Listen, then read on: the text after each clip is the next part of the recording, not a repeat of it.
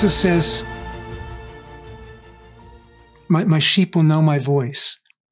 You, you, can, uh, you can see that, for example, elsewhere in John's gospel, where uh, he, he, uh, he says, Mary, and then she recognizes him by, by his voice. In my early Christian life, the circles I was in, I thought I had to earn my way into God's presence. Like, you know, okay, the first hour is to earn your way into God's presence, and then after that, you can get down to business. But that's really not what the Bible says. You go to John chapter 14, and actually John 14 through 16. But as Jesus is getting ready to go to the cross and he's talking with his disciples, he talks about his presence. It's not something we earn, it's something Jesus essentially earned for us. And I'm going to, I'll start with 1423 because that's pretty clear. And then I'll, then I'll go to something that's not as clear just because it's fun. I love to talk about the Bible. Uh, but if you're not persuaded in that part, at least you'll get it from John 14, 23. Jesus said, If anyone obeys me, if anyone keeps my commandments, I and the Father will love them, and we will come and make our dwelling within them. And this is in the context of him talking about the giving of the Holy Spirit. So we have the Father and the Son and the Holy Spirit living inside of us. So we're always in the presence of God. But even toward the beginning of the chapter, Jesus is already pointing towards this. His disciples don't understand right away, and we don't understand right away unless we read through the whole context. But Jesus says, In my Father's house are many dwelling places, and I'm going to prepare a place for you so that where I am, you can come and be with me. And one of the disciples said, Wait a minute, we don't know where you're going, so how could we know the way? And Jesus answers. He tells him what the way is. He says, I am the way and the truth and life. And then he also tells him where he's going. No one comes to the Father except through me. Well, if John 14, 6 is a salvation verse, and it is, how do we come to the Father through Jesus? When we, when we accept Jesus as our Lord and Savior, right? If that's a salvation verse, then 14, 2 and 3 are also salvation verses. Because we come to the Father's house, we come into the Father's presence when we accept Christ, you see. I don't know about that. Well, what does the Father's house mean elsewhere in the Gospel of John? Now, that's kind of hard. That doesn't really solve it. John chapter 2, it's the temple. John chapter 8, I think it's verse 35, it's the Father's household. Uh, we, we belong to the Father's household. But in John 14, the rest of the context makes it clear. Jesus is saying, I'm going away, I'll come back to you. What coming is he talking about? Is he talking about his coming that's still future to us? he, he does talk about that plenty in the Bible, but that's not the coming that he addresses specifically in John 14. John 14, he's saying, I'm going away, I'm going to the Father, I'm going to die. After I, after I rise, I'm going to come to you, I'm going to give you the Holy Spirit. That happens in John chapter 20, verses 19 to 23. When he comes to them, breathes on them, says, Receive the Holy Spirit. As the Father has sent me, even so I send you. So also he says, in my father's house are these many rooms. I'm going to prepare a place for you. I'll come back. I'll receive you to myself. Um, well, these, these rooms, these many rooms in the Father's house, what are they? The Greek word that's used there is the word mone. It's used only twice in the entire New Testament. The other place it's used is later in this chapter in verse 23 where the Father and the Son, by the Spirit, come and make their dwelling place within us as believers. And the verb form of that, abide or dwell, meno, is used all over the place. You know, the Holy Spirit, counselor whom I'm going to send, is with you in the person of Jesus. He's with, with them because he's in Jesus and will be in you and he talks about the Spirit abiding in them. He talks about you abide in me, I abide in you, like branches in the vine. So he's talking about being in his presence. The same Jesus who washed his disciples' feet that night is the same Jesus who's with you at this very moment. But he didn't start being with you when you realized he was with you. He was already with you. So it's not you realizing it that makes it happen. It's already true. So you may as well realize it because it's already true. Because it comes from him. That's where our relationship comes from.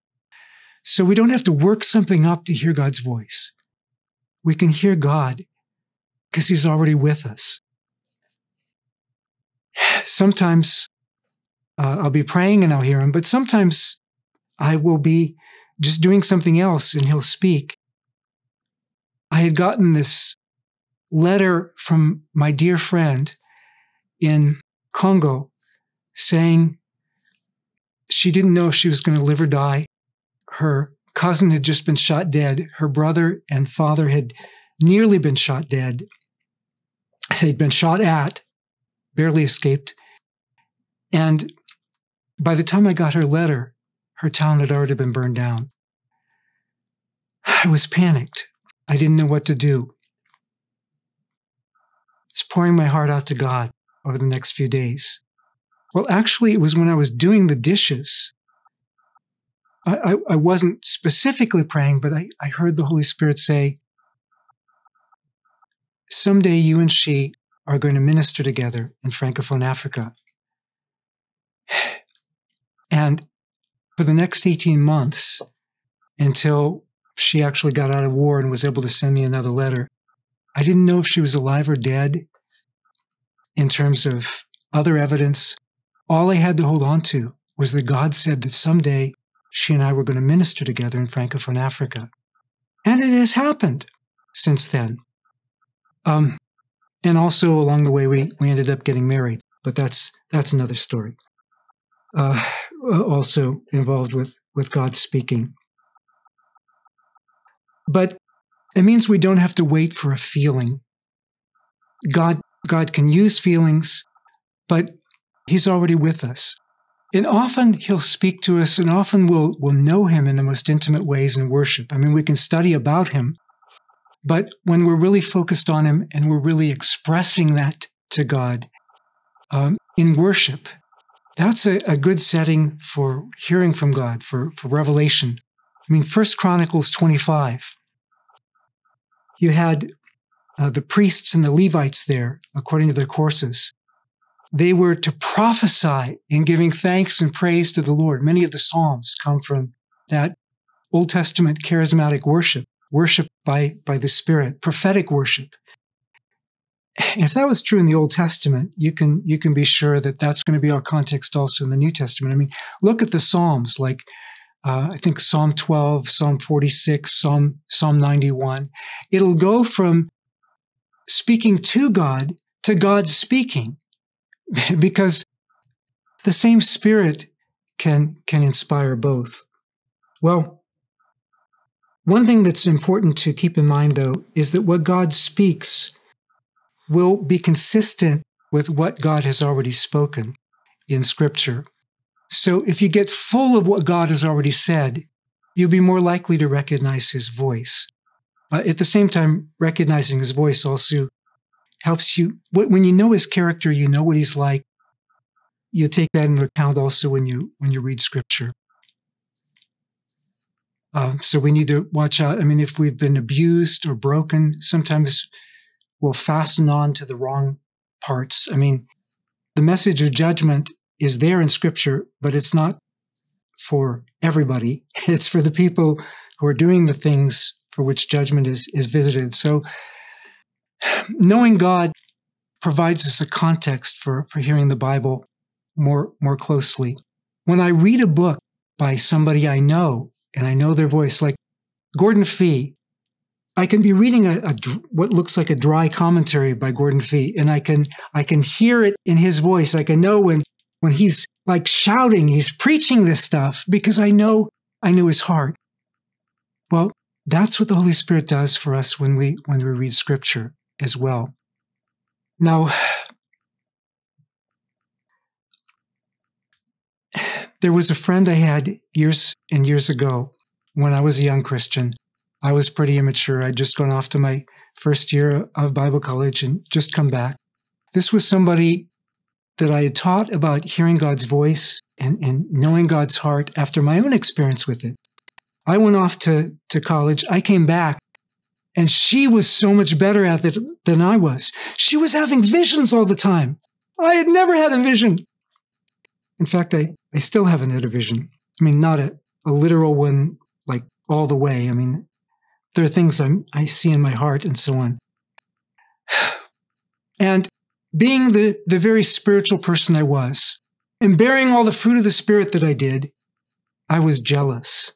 I was like, God, that's not fair. I've been a Christian longer than she has, and I've never had a vision. Well, one day we were getting ready to meet, and I said, God, I need to have a revelation because Barb is going to have a revelation. She always has a revelation. And and she's going to like look down at me if I don't have a revelation.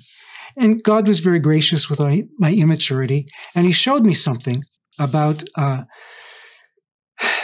well, yeah, he, he showed me a couple things that night. And when I met with her, I told her immediately one of the things God showed me. And she said, Ah, God showed me that weeks ago. I was kind of depressed. And then she told me about the, the newest thing that God had shown her. The newest thing that God had shown her, she said, was, well, you've heard of the Trinity, right? Three, if you're good with math. Uh, Father, Son, Holy Spirit. Well, there's going to be a fourth one now. We are going to become part of God. We're going to become the fourth member of the Trinity. I was like, Barb, that's not in the Bible. She said, Oh, no, I know it's not in the Bible. It was just revealed a couple weeks ago. I'm like, Barb, I mean, you look at Revelation 22, as far in the future as you can go, that's never going to happen. We're going to be a servant serving him before his face. She said, it's farther in the future than that. And she and her friends started jumping on me. You're not spiritual. You're just, you don't care about, all you care about is the Bible. You need to hear about, hear things from the Holy Spirit. And she told me sometime before this that she didn't really read the Bible that much. Because, you know, the people back then, they had their revelations but she can get her own revelations. So why does she need to pay attention to their revelations? Well, this was a good illustration of why you need to pay attention to their revelations because you can go off a deep end if you don't. I mean, God gave us scripture as an objective parameter, so to speak, so we recognize God's voice and we can walk in his ways. And uh, Barb eventually realized she was wrong on that but uh, it was it was kind of painful along the way. So, uh, and actually, why do we listen to their revelations? In Jeremiah's day, there were a whole lot of people saying that they heard from God. Jeremiah was the only one who was hearing the right thing from God. And yet he stood in continuity with a whole line of earlier prophets who had been saying the same thing that he was saying. So it's not just lining up with what everybody else says the Holy Spirit is saying. I mean, First Kings chapter 13, there's a, a prophet there who, you know, the Lord told him, don't go eat with anybody. You just, you just go back. And another prophet came to him and said, well, the Lord told me you're supposed to come eat with me. So he said, oh, okay. He went and ate with them. And then the real word of the Lord comes to the other prophet and says, because you disobeyed God, you're dead. And it happened that way. We can't just take what somebody else says at the same time, we have scripture. You know, in Jeremiah's day, people were confused. But the next generation, three books of the Bible all declare, and when the word of the Lord, according to the prophet Jeremiah, was fulfilled. Guess whose book made it into the canon? Not those other prophets. What we have in the Bible isn't all that God has ever said. I mean, every time God spirit bears witness with your spirit that you're God's child, God is speaking. But we're not going to put in the Bible that God is speaking to Ken, you're God's child, or God is speaking to Raymond, or God is speaking to Melissa, you know, you're God's child. It's enough for the Bible to say that God's spirit bears witness to our spirit that we're God's children. But you know, there's a lot of other things God said, but the purpose of a canon, the purpose of scripture, it's a measuring stick. It's how we, we know this is, this is God. We use it to evaluate all other claims to, to revelation. And uh, Barb learned that the, the hard way. Um, there's a continuity of the message of, of prophets and apostles through history, and true prophets and true apostles are not going to contradict that when they're speaking by the word of the Lord. Well, in terms of hearing God's voice, how do we start with that? A good place to start is asking God for that. I mean, again, God is already there, but you want to hear him more clearly. You want to learn to hear him more clearly. 1 Corinthians 12:31 and 14:1 and 14:39 talk about seeking for spiritual gifts, and and uh, a couple of those zero in on the gift of prophecy. 14:13 says, you know, if you if you you you pray in a tongue and there's nobody there to interpret, then you can pray that you may interpret. You know, we can pray for for spiritual gifts. Uh, Paul there is emphasizing the gifts that'll build up the body the most. He's not against things that'll build you up personally, just same as we read the Bible for personal edification as well as for corporate edification. But we we can pray for what will be useful for building up the body. We can also pray for what will be useful for building us up. Um, it was when I was a really young Christian that my pastor's wife taught on uh, 1 Corinthians 14 and about seeking the gift of prophecy. So I started praying for the gift. And then one time in the in the youth group, now again, I, I just been I've been converted from a background in atheism. So I'm devouring the Bible now, but it's for the first time. You know, I'm just learning it as, I, as I'm going along. But I, I prayed for the gift of prophecy. And this one time we were praying together before the youth group, and I felt this overwhelming sense that God was saying something. But I was like, I'm not sure if this is God or not. God, if it's really you, please make somebody else say it. And then somebody else prayed out a prayer that said the same thing pretty much. I mean, not identically word for word, but it was the same spirit, the same, the same message as what I was about to prophesy. And so I said, okay, from now on, I'll do it. And it started happening in the church services. It was a Pentecostal church. I didn't get thrown out. when I prophesied in the cafeteria in Bible college, um, at the top of my lungs, I, I could have gotten thrown out of that. But anyway, it, it was, it was all right. It was Pentecostal Bible college. Uh, they had to get over it. So anyway, I, I'm, I'm not recommending these things. This is just the way it happened to me. But in any case, as I, uh, it, it was sometime after that when I first began hearing God's voice for myself. Like when I went out for the walk I talked about earlier, and I heard God, God speaking. That's the way He spoke to me. And, and again, I'm not saying this is the way it always happens, but this is just the way it happened to me. Um, Hosea chapter 1, it says, When the word of the Lord came to Hosea, the Lord said to Hosea, by Hosea, which makes me think kind of he prophesied to himself. Um, you have that some other times in the Old Testament as well. Jeremiah, thus says the Lord to me, or in uh, in Second Samuel, where he starts uh, prophesying. Uh, th- these these are the words of God through David, and then it prophesies to David. So since I'd already moved in the gift of prophecy, that's how it first came to me articulately when I when I went out to pray. Uh, that went beyond feelings and impressions, but actually came out in articulate wording. Now, uh, it is important to recognize that between the point where the impression is coming and it becomes articulate, uh, just keep in mind God doesn't make mistakes in speaking, but we can make mistakes in hearing. So uh, we need to grow in this. But again, talking about how we pray for the gift. So talk if you if you can pray for the gift of prophecy, you can certainly pray for the gift of of hearing God's voice. Luke eleven thirteen. The, the parallel passage in Matthew. If you ask for good gifts, your Father, your Heavenly Father will give you the good gift. But in Luke eleven thirteen, it focuses on the best gift of all. Uh, same context of prayer that you have in Matthew, but but Luke zeroes in on something that's certainly included in good gifts. The best gift of all is God Himself, God's own presence. And Jesus says, if you ask for the Holy Spirit, your Heavenly Father will give that. Now, obviously, when you're born again, the Holy Spirit comes into your heart. But we see in the book of Acts, it's not just the one time thing. And in the book of Acts, we actually see the, the prayer and then the, the public outpouring of the Spirit on, on communities of believers. So in Acts chapter 1, you have the believers uh, praying together.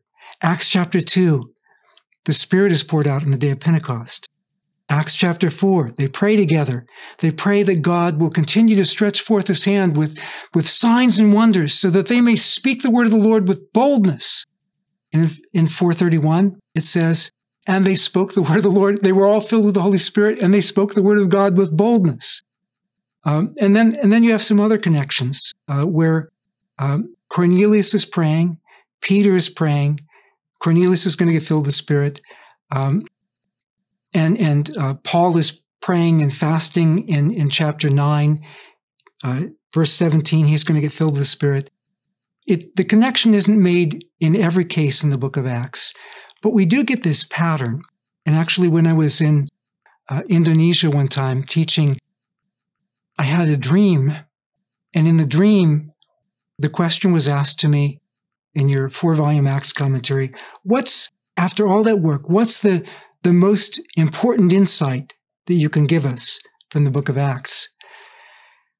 And this wasn't new with me. I'm not the first person by any means who ever said this. Um, and I mean, it's kind of obvious, I think. But what came to me in the dream that the, you know, if somebody asks me, what's the most important thing you can tell us that you learned from the book of Acts? It's this relationship between prayer and the coming of the Spirit. We ask and God will give us the gift.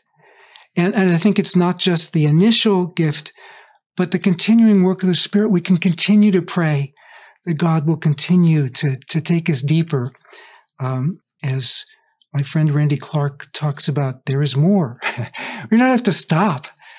So, um, but but also we don't want to put God in a box. I mean, you're praying for the outpouring of the Spirit that looks a lot of different ways. It looks different ways in different times in history. You can have laughing, you can have crying.